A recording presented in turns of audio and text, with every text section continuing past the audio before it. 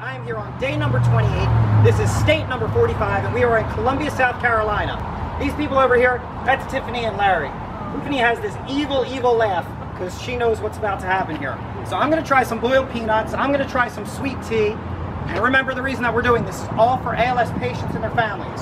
So we want them all to watch these videos at 50in30.org, 50 and 30.org, share them with their friends, but most important, donate. Awareness lead to funding, funding will lead to a cure. Columbia, South Carolina, are you ready to join the 50 and 30 challenge? Yes, we are. Oh my goodness. Remember, contact your local ALS association, find out about walks, find out about all different things you can do for your own community. All right, let's do this.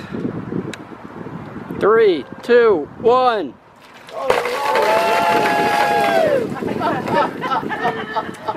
All right, hot out. The sweet tea tastes good. The salt, not so good.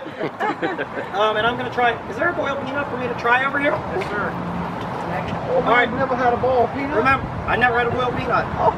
Is that is that bad? Oh, that's terrible. I'm just a Philly boy. Did you ever have a real cheesesteak? Yeah. Are you sure? Yeah, Not like a Philly. Ruby Tuesdays, right? Like a real Philly cheesesteak? How are you supposed to eat these? It's all mush inside. Hey, that's how you good stuff. Just All right, out just like regular peanuts. I'm not sure if I'm supposed to eat this part. Yeah. Um, all right, I'm going to stick with the cheesesteaks. all right, guys, I will see you tomorrow in Durham, North Carolina. Only two days left. 50in30.org, 50 and 30. Watch these videos, share them with your friends. Most important, donate, donate, donate. I'll see you tomorrow.